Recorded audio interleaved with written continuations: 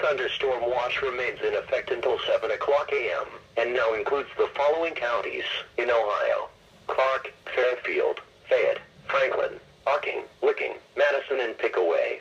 Remember, a severe thunderstorm watch means that conditions are favorable for the development of severe weather, including large hail and damaging winds, and then close to the watch area. While severe weather may not be imminent, persons should remain alert for rapidly changing weather conditions and listen for later statements and possible warnings.